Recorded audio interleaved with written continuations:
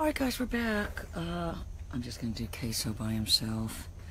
And I've got a couple things, and I do think with a puppy, if, if you're gonna do look where I look, do I honestly I think we need to just say either use white or contrasting in the beginning at least. But this is just oh, this is the old phone holder. I thought you said it was fine yesterday. Yeah, it was fine yesterday. I don't know what happened. And then I've got this thing, and there are similarities in these objects.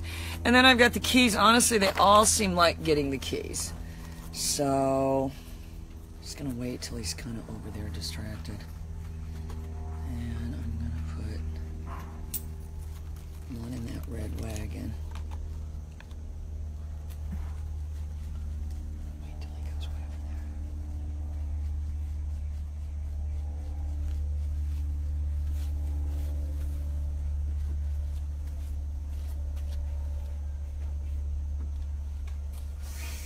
Oh no, nothing, nothing going on here. Nothing going on here. All right, so let me just go sit over there and try to look.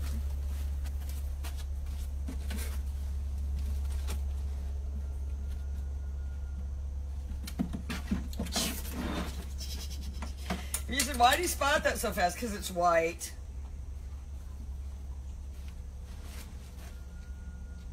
That glasses case is perfect too. Yeah, there you go.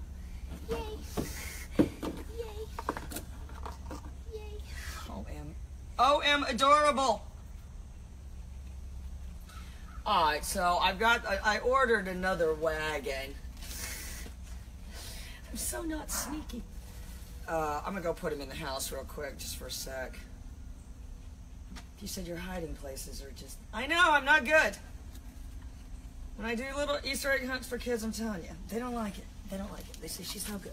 All right, hang on. Let me just stick him inside real quick.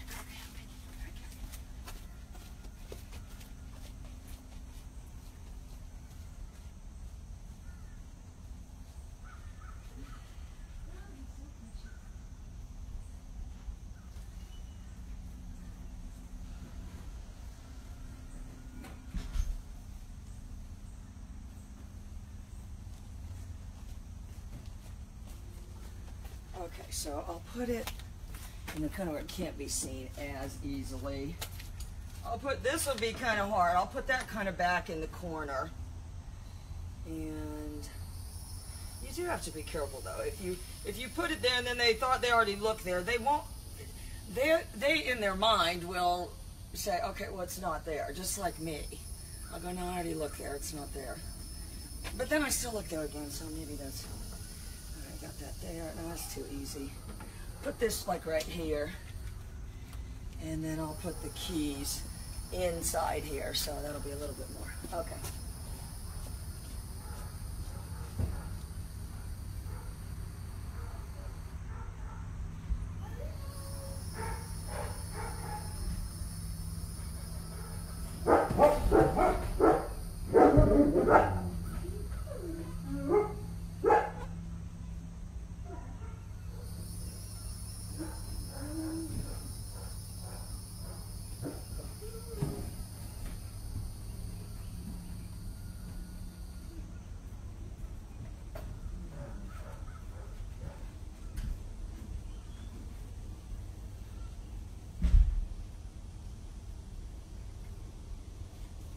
Ah, he was running through the whole house. Okay, so. And try looking right there. He's probably to spot that one over there, though. Okay. No, no, that's right. I put it behind the tire.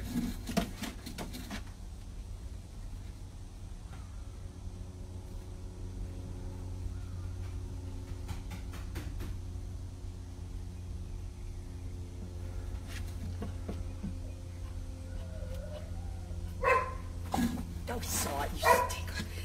You stinker.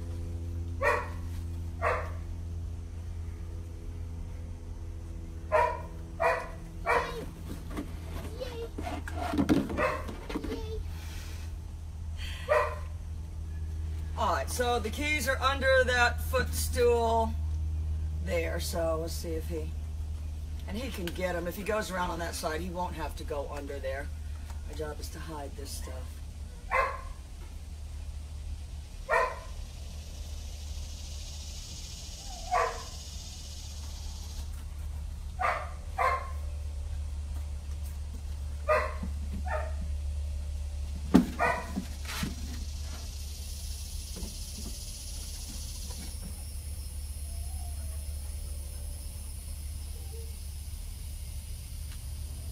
Smells those keys in there, I think.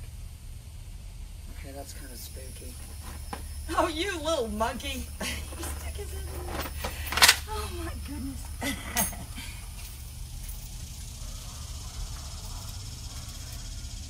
that's that's kind of spooky.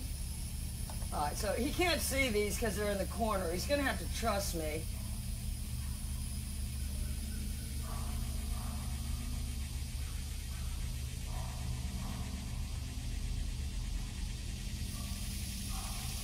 If you're going to jockey your position, I think you should do it not abruptly at all.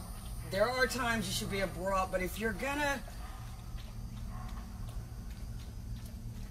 You don't want them. You wa- the reason you don't want to do it is you want them to have an intellectual process seeing you move, not a knee-jerk reaction or anything. You saw him. Oh, he's absolutely. Oh, he'll get him out and bring him to me.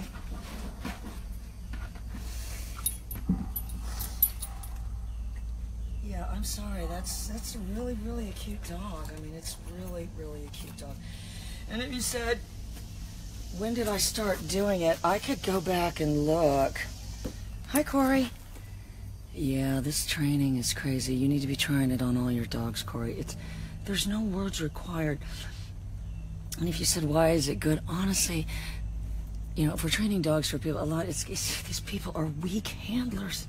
You can't even find the, you know, you can't even find these trainers that aren't doing everything well.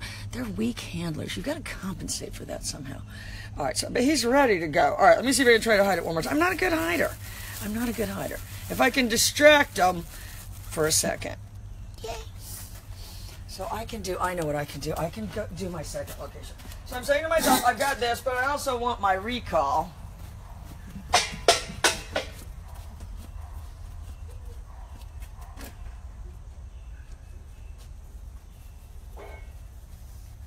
can just pretend to drop some there. All right, I'm gonna put the glasses case in here. Oh, shit.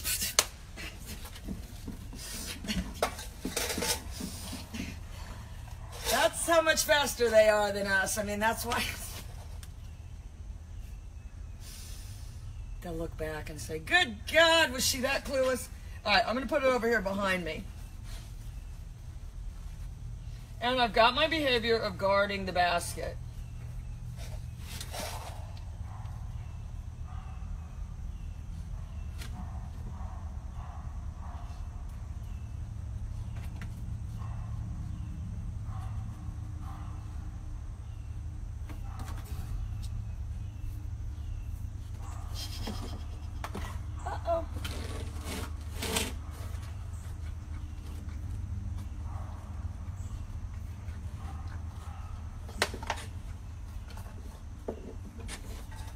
Precious, precious angel.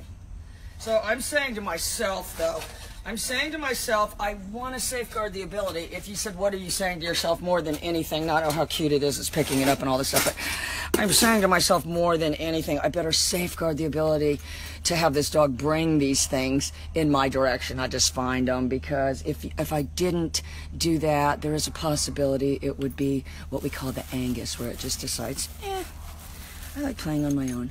I like solitaire. All right, so I can get this puppy to travel though, and I don't throw things. I think you have to start out with this methodology anyway.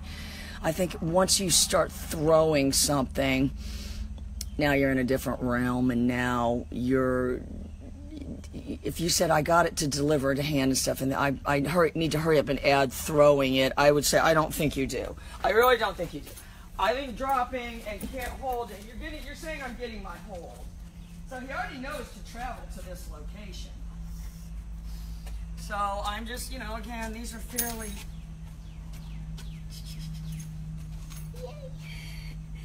Yay. Yay. If, if that's not the cutest thing you've ever seen.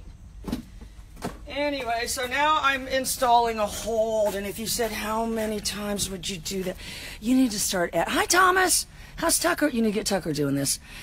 If you said how many times, you should start adding your hold and and safeguarding speed. And if you said why, because if they're going fast, they're if his purpose is to get to the platform, there really is not going to. He's going to keep holding on to it. Oh, he already knows to go down here. And I could, I could get him standing up on there if I wanted to. All right, watch. So I got my boom, whoops, accidental drop, goes back. And if you said, why were you moving your legs and acting like you were walking? You're adding the movement. A dog doesn't know. It just, oh, I see it moving. It's still walking. It's going. It's going away. That's what it does. So, anyway, that's where we're at. I'm going to get the other little black one out. Um, I'm going to just tell you right now, it's it's very, very exciting work. And I started these at four weeks old doing this. And if you said, is that behavior going to persist in this dog? There isn't any reason it wouldn't. If it had a different behavior, if it had a, if it had a behavior when every time it picked something up, I chased after it, that behavior would persist. So the, there's no reason this behavior won't persist. All right, I'm going to wait till he travels away and then put him in the put him in the wagon. Let's see if he. Oh, she's watching. You know, and he's saying to himself, and he is acting with the servant's heart because he's not trying to. He's not doing it so I'll tug with it or anything like that. I mean, he's just doing it. He's the place that he's doing it from is what I call the servant's heart.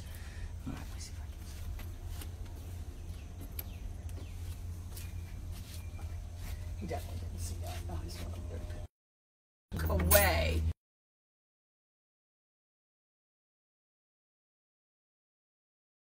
A default of, and it's not even a default. I do it as that's my limitation. That's why the hell I got you picking this stuff up.